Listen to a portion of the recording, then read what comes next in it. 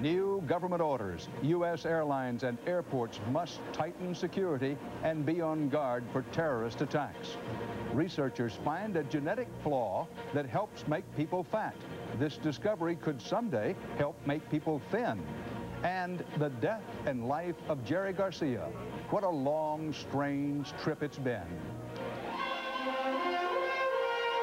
This is the CBS Evening News with Dan Rather.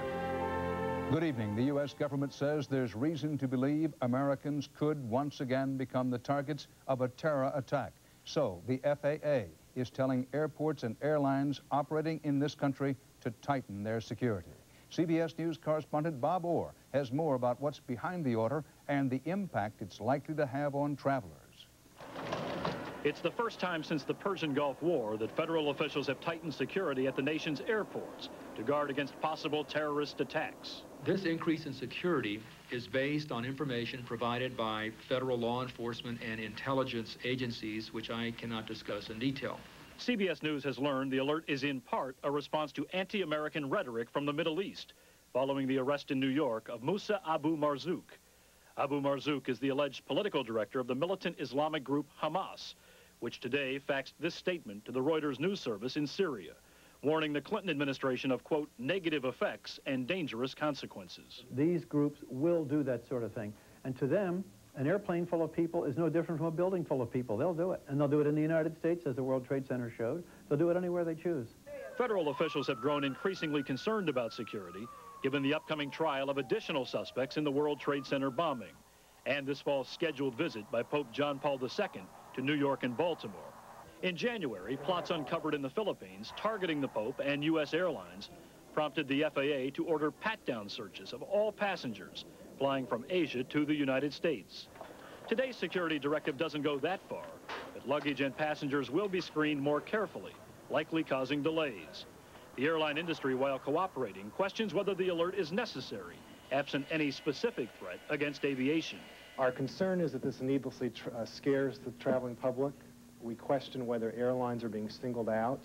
In fact, the warning is not limited to airlines. The Clinton administration has ordered all federal agencies to review security in what one official called this increasingly dangerous world. Bob Orr, CBS News, Washington. Indictments are about to be returned in the deadliest terror attack ever in this country, the bombing of the federal building in Oklahoma City, which killed 168 people, all of the suspects in that case are Americans. None have anything to do with Islam. As has been previously reported, an old U.S. Army buddy of the alleged bombers will help the government make its case against them. Correspondent Scott Pelley has more tonight about that. As early as tomorrow, a federal grand jury is expected to indict three men in the Oklahoma terror bombing. The indictments will allege the mass murder was motivated by a hatred of government and financed with the sale of stolen weapons. Prime suspects Timothy McVeigh and Terry Nichols will be charged in the bombing itself and will face the death penalty. The indictments will allege Nichols helped build the bomb and McVeigh delivered it. Also to be indicted, Michael Fortier, an Army buddy of the suspects who will plead guilty to relatively minor charges in return for his testimony. Federal sources tell CBS News Fortier helped case the federal building and participated in the theft of guns used to finance the plot the charges that he uh, has agreed to plead out to represent the uh, uh, nature and extent of uh, his uh, responsibility. Fortier will plead guilty to transportation of stolen arms, conspiracy to transport stolen arms, lying to federal agents, and failure to alert authorities to a felony, namely the bomb plot. Maximum penalty on all charges, 23 years, no parole. Sources say Fortier knew of the plot but did not take part in the attack. He and his wife testified before the grand jury yesterday. His attorney said today they're motivated by guilt. There uh,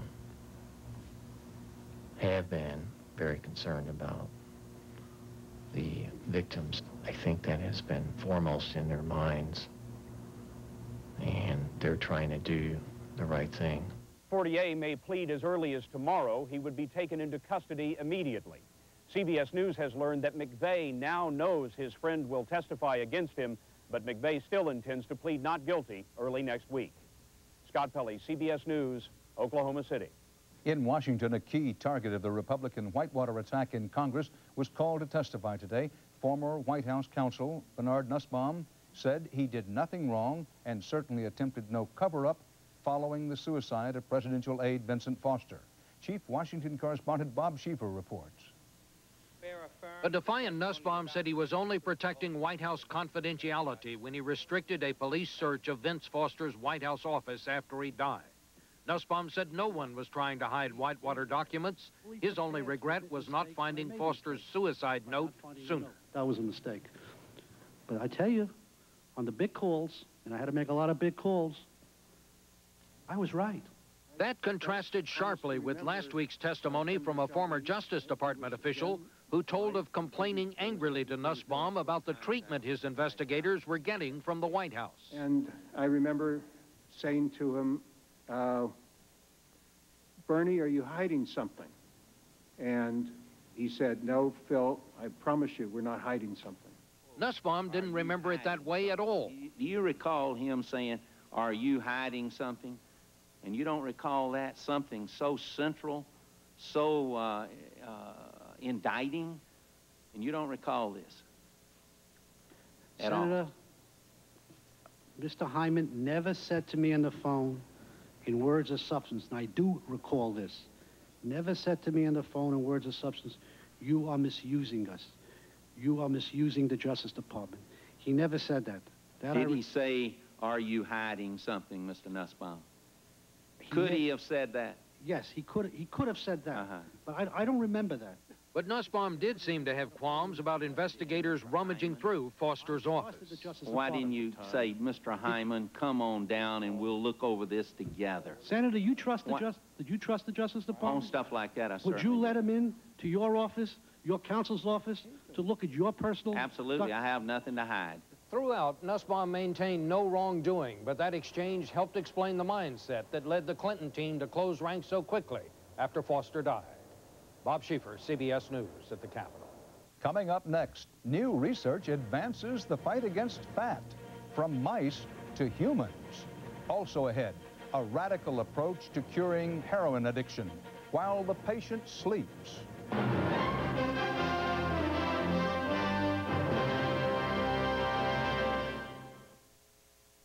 Alan's asthma attack woke me. At 3 a.m., you don't try some unknown brand. You trust Primatene Mist. It starts to open clogged breathing passages in as fast as 15 seconds. We take asthma seriously with Primatene Mist. Fastest type asthma relief without a prescription.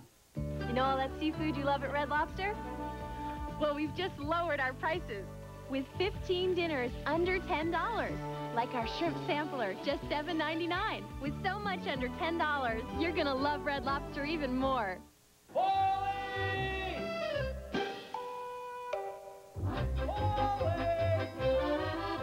If you won't settle for Parmesan cheese that isn't 100% Parmesan, What was I thinking? What were you thinking? make sure you get one that is. Kraft Parmesan. It's always 100% Parmesan. No fillers. I'm back. Real Italian meals don't begin without Kraft 100% grated Parmesan cheese.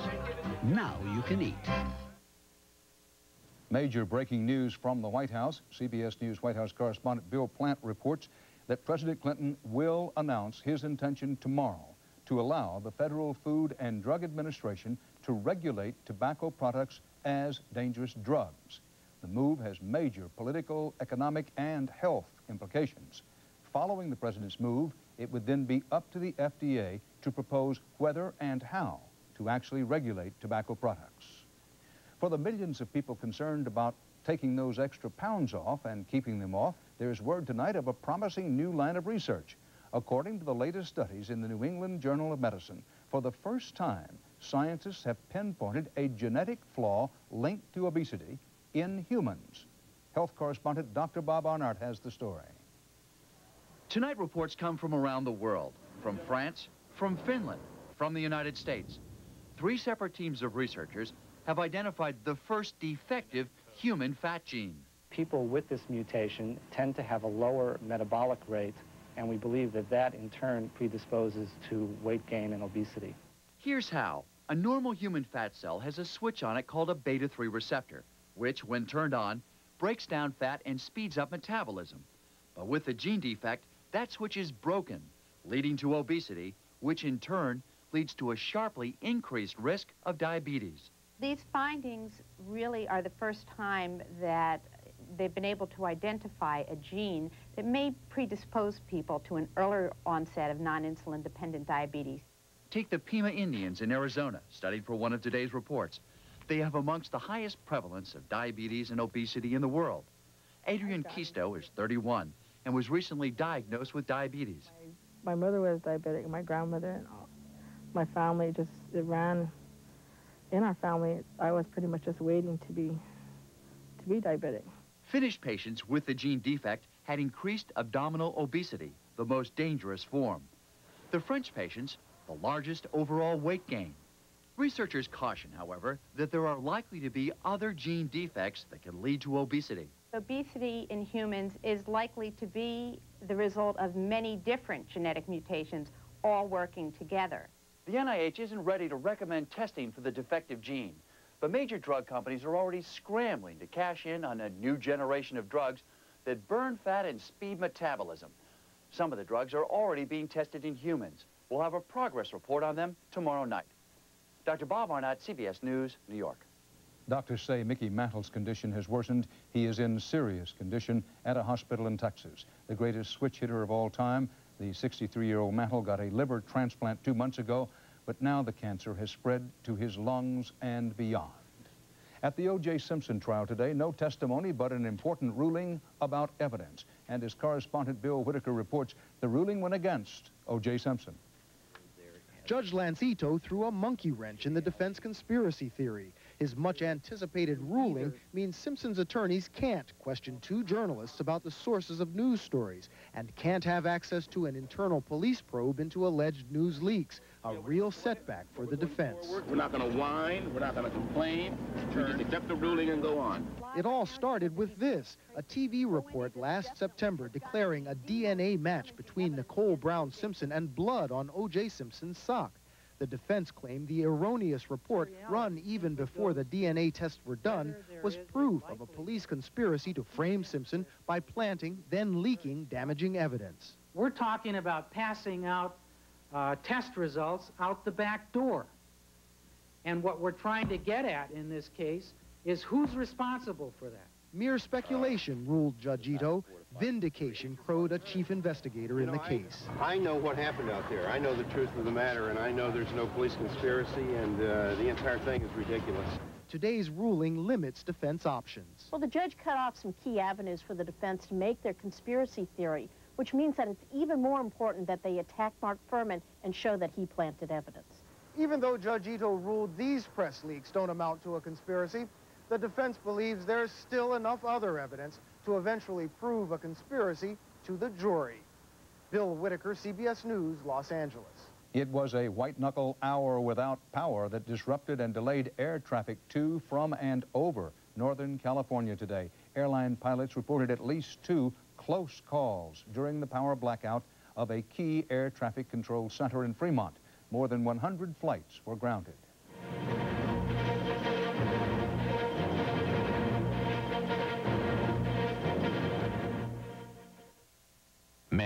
Is gray hair sneaking up on you, right under your nose, making you look too old? Whoa, it is sneaking up on me. Up here, too. You need Just for Men Color Gel, made for the hard-to-color gray of mustaches and sideburns. Simply brush in this no-drip gel, and in five minutes, rinse. Gray's gone. Your mustache and sideburns blend perfectly with your natural hair color. That gray won't sneak up on me again. Just for Men Color Gel, the sure thing for a natural look. The lights were out. John's sound asleep. And what am I doing? I'm hurting. I can't sleep, and I've got to work tomorrow. But I wasn't so sure about taking something. About how I'd feel in the morning. I went ahead and took Tylenol PM. It was the right choice. It stops my pain. It helps me sleep. So when morning comes, I'm ready to go. Right on time. All rested and feeling great. Come on, honey. Rest easy. It's Tylenol PM. Now also available in easy-to-swallow gel tabs. Everybody needs some money sometime. When you need money fast. Hello, Dad? Count on Western Union. We send more money to more people around the world than anyone else. Western Union, the fastest way to send money worldwide. Pam, look. Phillips has gel caps. Gentle overnight relief in a little gel cap. This is just the thing for your constipation, honey. Even has a stool softener, huh, Brenda? Phillips has gel caps. A drug that targets the gene that makes people fat. It's the latest discovery in weight control. Penicillin, for instance, was great for uh, bacterial infections. And if this is as good as penicillin, which I think it might be, then this is a penicillin for obesity. So how does it work? And when might it be available? The story tomorrow on the CBS Evening News. The whip is in the other hand tonight in former Yugoslavia. Masses of Serbs have been driven from their homes in Croatia and forced to run a gauntlet through hostile territory into Serb-held northern Bosnia. Reports are mounting of attacks and atrocities against the refugees by the Croats and their Bosnian Muslim allies. Correspondent Cindy Kennard is in the war zone. This region is tonight awash with refugees. Thousands of homeless families with almost no possessions. Roads so jam-packed, they are now crawling toward safety. The world has seen this before. Usually it's the result of Serb ethnic cleansing. This time it's the Croat version. Inhumanity infecting both sides. It is a major humanitarian catastrophe. We are here confronted with more than 100,000 uh, people fleeing. The Serb refugees believed they were escaping. Instead, they have walked straight into a Holocaust. The Croats taking bitter revenge on the roadside, attacking some of the refugee convoys. Death and chaos heaped on misery. And that's not all. There are refugee suicides. They're probably terrified when they've come under fire, where uh, they probably think they have no future, where the situation is very miserable and, and, and quite horrifying. But even when these people reach some kind of welcoming destination, they face months, even years of more misery in refugee camps or homes. But for most, there are many more miles to go before they get there. Cindy Kennard, CBS News, Zagreb. In Japan, thousands of people gathered at the site of the second and last atomic bombing of World War II. Up to 100,000 people died from the bombing of Nagasaki 50 years ago. Japanese political leaders today appealed for peace and a ban on nuclear testing. But the mayor of Nagasaki said Japan should also apologize for its atrocities in World War II.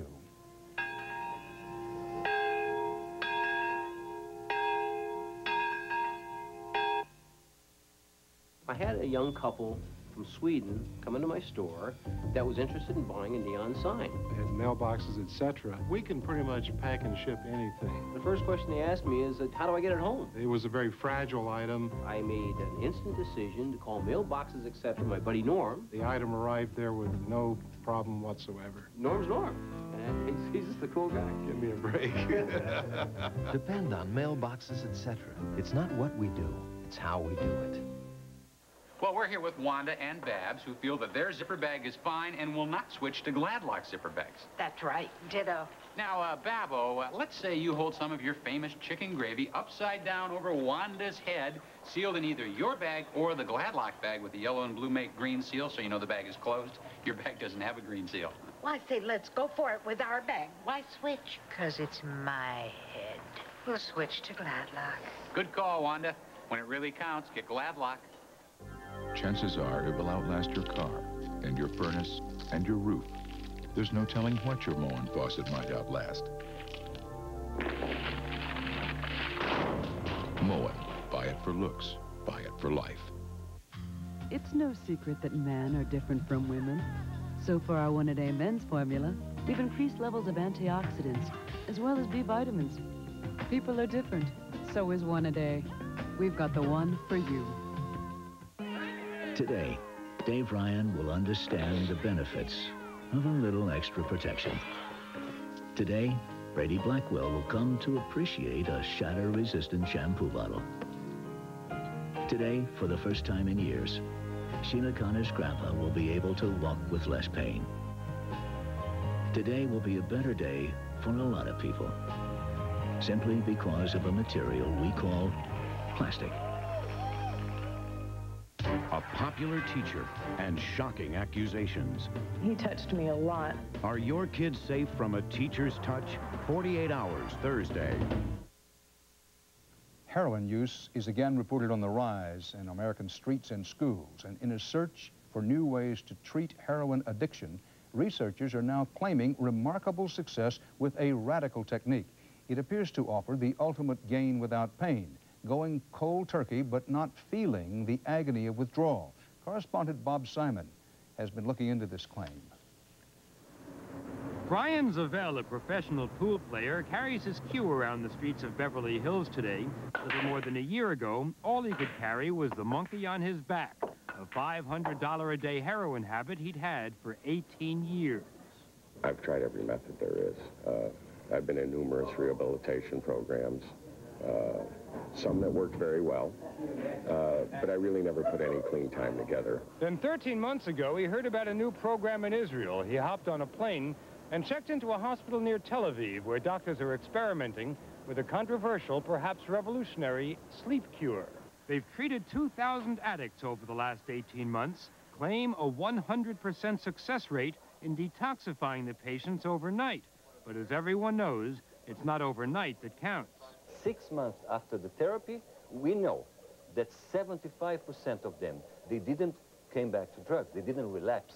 They still opiate free. Here's how it works. An addict comes into the clinic an hour or two after his last fix. He's examined, tranquilized, and then just as he's feeling the first pangs of withdrawal, anesthetized.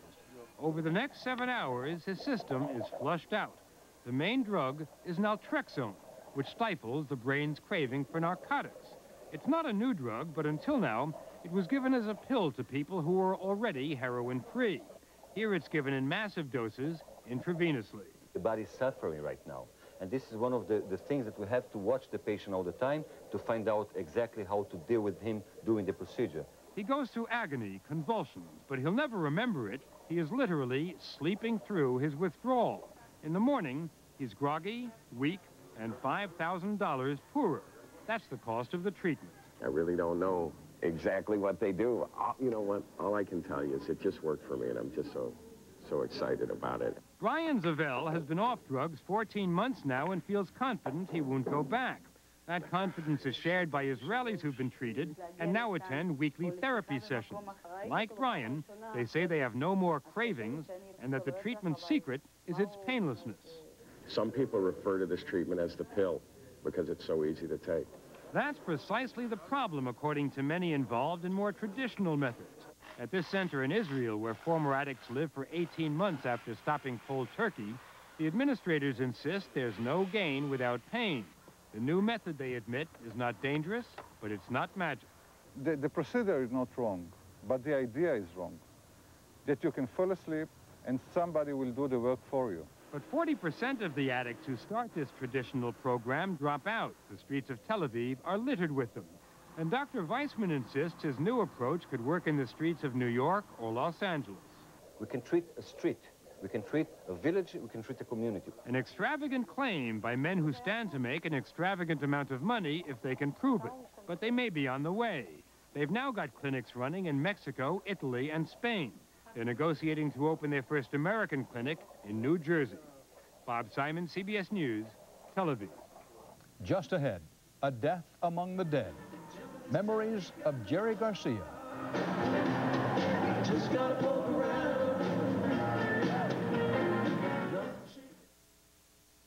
With the uncertainty of today's interest rates, many would-be homebuyers have adopted a wait-and-see attitude. Your Coldwell Banker agent, on the other hand, thinks it's time to wake up to the possibilities. Buying a home can be more affordable. In fact, interest rates are down again. So why wait? All it takes is opening your eyes to the opportunities and knowing who to call. Coldwell Banker, support you can count on. Come on, guys. Hi, friend. How are you? Coffee and a jelly fill. Complete bran flakes. She stares like I can't make a change. What's with you? I look like this when I joined the force? Well, no. I eat junk all day. I come home, I say I'm going to work out. I never do. I gotta do something. Thousands of people have started turning their lives around with four little words. Kellogg's Complete Bran Flakes. Hey, friend. Can I make a switch here? I feel like I'm married to you. Kellogg's Complete Bran Flakes. It's a start. Let me guess. One side of you craves easy chair comfort, while the other side itches for performance, right? Well, meet Buick Regal with its famous 3800 V6 engine and Grand Touring suspension. Add to that an all-new interior with body-sensitive seats. And finally, there's a car for the two of you. Buick Regal. If heartburn shows up when you lie down, it may not be just heartburn. It may be something different. Doctors call it acid reflux, and you need something different. You need regular Gaviscon. Only Gaviscon forms a protective barrier that helps keep stomach acid down, where it belongs. Mylanta can't. Regular Maalox can't. Gaviscon is the only medicine you can buy without a prescription that can. So to help stop reflux pain from acting up when you lie down, get Gaviscon. It's different from here all the way to here. Jerry Garcia, the Grateful Dead guitarist who kept the counterculture of the 1960s rocking and rolling right into the 90s, died today in California. He was 53. Garcia was found dead at a drug rehabilitation center, reportedly of natural causes. Correspondent John Blackstone has the Jerry Garcia story.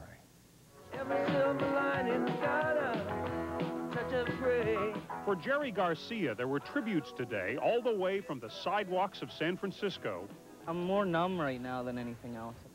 to the halls of the United States Congress. I got called out of a meeting and was told the news, and I felt like I'd been kicked in the stomach. By the 1990s, Jerry Garcia and the Grateful Dead should perhaps have been museum pieces. But instead, these survivors of the psychedelic 60s just kept packing them in. It was the best example of how music can penetrate every age, every strata of society and make us as one. Hey, what the is that? For Jerry Garcia, the goal was not to make records. It was to play music, live, to improvise, make every performance different. He wanted to be a good musician. And, and uh, you know, on, on, on the good days, you know, he was a great musician. I don't care if my works survive, you know, or anything like that. I'm not really that attached to my own work. Uh, and, and in fact, that is sort of embarrassing in a way. But millions are attached to Garcia's work. The Grateful Dead is the top live band in the United States, grossing $50 million last year. And their fans, the Deadheads, are legendary. Oh, it's like the gypsies. You know, we get together. It's a tribal stomp. Though Garcia spent much of his life fighting drug abuse, that was not the only legacy of the 60s he kept alive. That's something from the 1960s is, is hope, is love, is peace, is creativity. Those are wonderful ideals. We would all like to be able to live an uncluttered life, a simple life, a good life, you know, and like think about moving the whole human race ahead a step. From counterculture to mainstream, America is grateful to have had Jerry Garcia. John Blackstone, CBS News, San Francisco. And that's part of our world tonight. Dan Rather reporting for the CBS Evening News. Good night. Get to sleep that night till morning came around.